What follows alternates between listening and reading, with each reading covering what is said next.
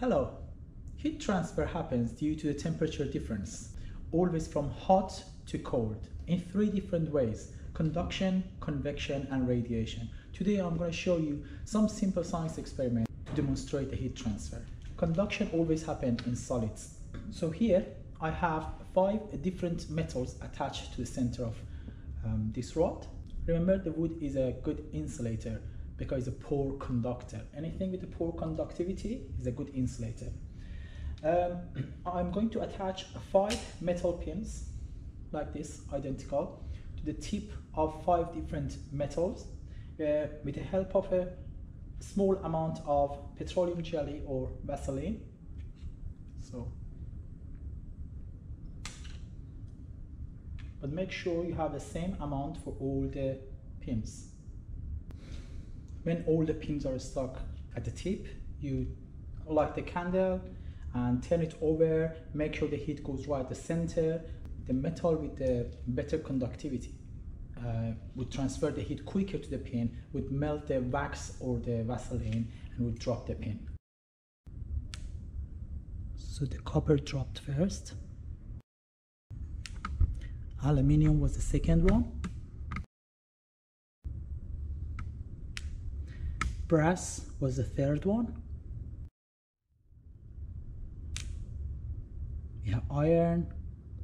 Second way we can check the heat conductivity of these four metals is with this device that has some crystal liquid inside that is sensitive to the heat. So let's pour some boiling water inside the beaker.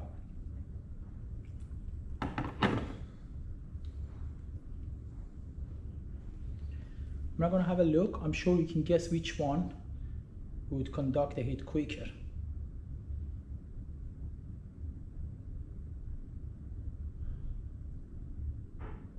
Is it moving?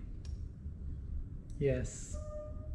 Make sure you don't dip the whole thing inside. The crystal liquid should be outside. Just the metal part goes inside the hot wood.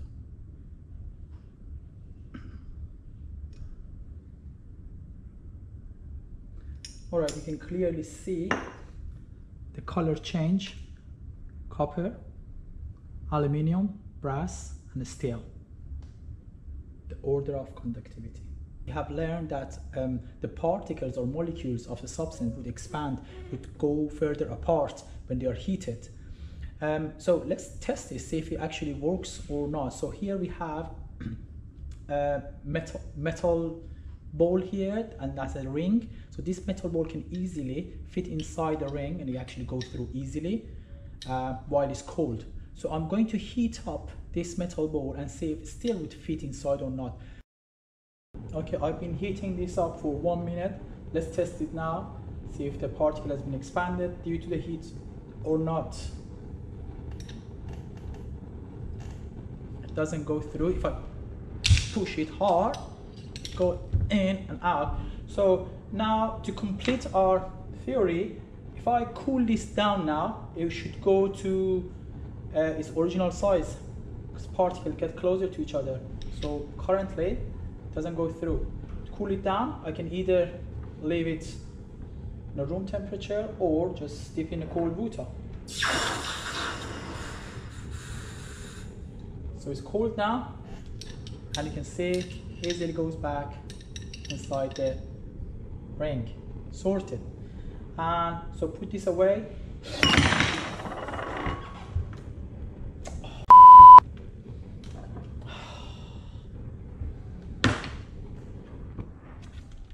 This metal bar is still is so cool although I dipped it inside. Ouch this is hot too. Okay please be careful. Don't touch this hot stuff. The Bunsen burner is a hot too. Just leave it for a while to cool down. Let's move to the convection. Uh, we're talking about the convection. This is a beaker filled with water and we have a candle and we have uh, potassium permanganate. So i'm gonna put the potassium permanganate. uh, permanganate uh, into the the water. The cold water Ooh. Okay. Ooh. you look at the camera as well. and have some cinematic scenes. Right. Tell, okay. Sorry. Okay. Sorry. Oh, so he has He knows how to use it. He has experience. Okay. Sorry. I need to show From this. burning to- candles. How to burn them. So you should just have a montage. Some more cinematic scenes. So we have a candle to heat this up and see what's going to happen. So as we can see, the potassium permanent magnet. Just say uh, the dye. the- the dye, dye. okay, sure. Okay, go on. So as we can see, the dye is starting to rise up because the hot air is going to the top because the cold air is more dense and the hot air is less dense. Because of convection, all the water has the same color. Hello everybody, welcome to Mr. Yazdan channel. So today we're learning about convection currents through All right, can we just drop the drama and all this tone it things? down a bit? Okay, that's how I Okay. currents. So as we know, uh, convection currents occurs in Fluid. fluids, and uh, we'll see how it works now. So if we uh, put some potassium per potassium perman magnate, Permanganate. to, if we put some potassium permanganate uh, in, in, in this uh, water, So we have a rectangle tube here. we have a rectangle. It's filled by water. Make sure it's leveled. Okay. Perfect. All right. Five days later. It's not my fault that this cone is so stupid. How natural, Mazen. I know, right? Liquids. All right. Okay. So, put more, or is that fine? So we can see it's staying there. So now light up the candle. So heat up. We are going to gradually heat up the liquid, which is the water.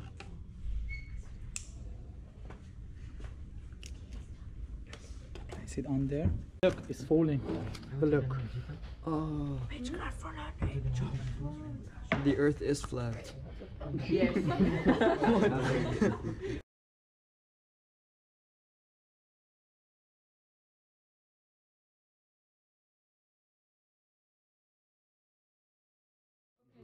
over here we're gonna show convection currents in gases.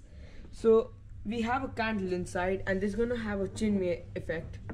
Over here it's gonna take the air in and it's gonna remove the air from here. Why the air is going out from there? It's gonna go out from here because there's a heat source below it. So the air over here would start getting hotter and thus getting more, less denser and it'll go up. Over here, because we can't have a vacuum over here, even though that's that is why we should that's why air would come from outside to replace it. Because cold air is heavier, it's gonna sink into here. Ooh.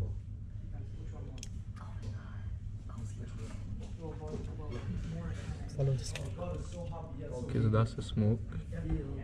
Oh, Ooh, Oh, yes. Very This is very nice. Heat transfer by radiation doesn't require a medium. It can occur in space, and that is how we receive heat from the sun. My students are going to conduct two experiment to show you how the um, radiation is emitting from the different surfaces. Leslie cube has four different um, sides. Do you want to tell us about the colors? This is a this is a sh- matte black. No, that's shiny one. This is the shiny one. This is the shiny one. Shiny What is black, matte black. This is matte black. This is a shiny Metal. metallic. metallic, and this is white. This is white. Okay, so what we're going to do, what's going to fill this with? We're going to fill this with boiling water and to check the temperatures, to check which uh, emits the most heat. Yeah. Yeah. Which surface would emit the most heat? Yeah. So we have set up four thermometers here. We're gonna place this right the center here. I'll bring the camera closer to show you. And um, Amar, do you want to tell us about that one? Yeah, sure. So we have two here are containers. Okay. The first container is dull black or matte black, any of which, and the second container is shiny metal. We fill up with the boiling water. They have a thermometer in there, and see what we notice about the temperature change. Which one would emit more heat, therefore would drop the temperature quicker. So you have to make a bloopers version. Bloopers version. My whole video is up bloopers. So we've we've added the boiling water in this cube. Uh, right now the temperature of the boiling water is about 86. Uh, we've added thermometers around each of the surfaces to check of to check which emits the most. Right. Make sure the thermometers are not uh, exactly touching the surface, or that would become conduction and not radiation. Danish, can you read the temperatures for, from each? So first, this one is a shiny black. This one is about this is this one's about 40 degrees. This is 37, 38. The white one. Yeah, and that one Shiny. That's a metallic. the shiny. metallic one is 35, and this one's a, this one is 41. 41. So if we find the order, the matte black, the best emitter, Yeah. then we have a shiny black, white, and then metallic shiny. That's the order of Yep. radiation transfer. Okay, brilliant. Leslie Cube. Thank you, Danish. Amar, what do we have here? So we filled also the, the two other containers with boiling water, um, in order to check which uh, emits the most heat. We have uh, put two thermometers in each of them. matte black container, the temperature is 72. Uh, and what is this one? We've got around 74, 75. 74. So this one, the matte black, is losing more heat, radiating more, emitting more heat, Yeah. and that's what we're expecting. If we leave it for longer, I get back to it now. See the, the more temperature drops.